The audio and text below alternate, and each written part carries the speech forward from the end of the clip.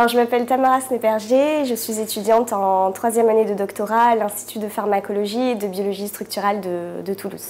Je travaille dans l'équipe du docteur Olivier Nérol et euh, notre équipe est spécialisée dans l'étude des interactions hautes pathogènes dans la tuberculose et euh, plus particulièrement le but de nos travaux est de découvrir des mécanismes immunitaires impliqués dans la défense de l'hôte contre Mycobacterium tuberculosis, l'agent pathogène responsable de la tuberculose.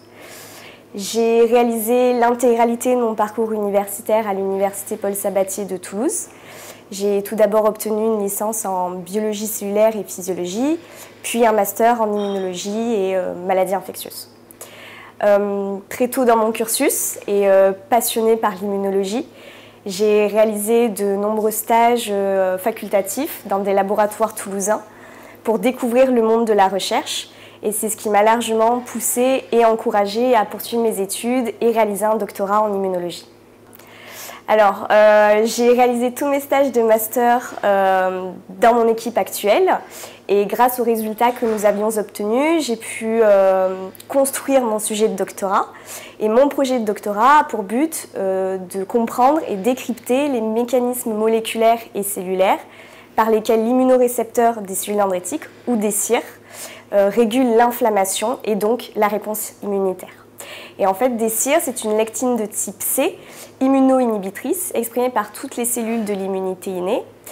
Et elle joue un rôle prépondérant euh, dans l'inflammation euh, contre euh, Mycobacterium tuberculosis. Grâce à ces résultats, nous espérons développer des outils thérapeutiques qui pourront s'appliquer non seulement à la tuberculose, mais aussi à un large répertoire de maladies inflammatoires. Après mon doctorat, je suis déterminée à poursuivre ma carrière dans un laboratoire euh, académique en tant que post-doctorante, euh, dans un laboratoire spécialisé dans la recherche euh, fondamentale et ou translationnelle sur les récepteurs immuno-inhibiteurs pour les exploiter en tant que modulateurs de l'inflammation pour soigner des maladies inflammatoires chroniques. Alors si j'avais un conseil à donner aux étudiants, ce serait d'être euh, vraiment motivé euh, par ce qu'ils font et c'est ce qui va largement les pousser à euh, se surpasser, notamment s'ils font un doctorat, à les encourager à développer plein de protocoles et de techniques pour mener à bien leur recherche.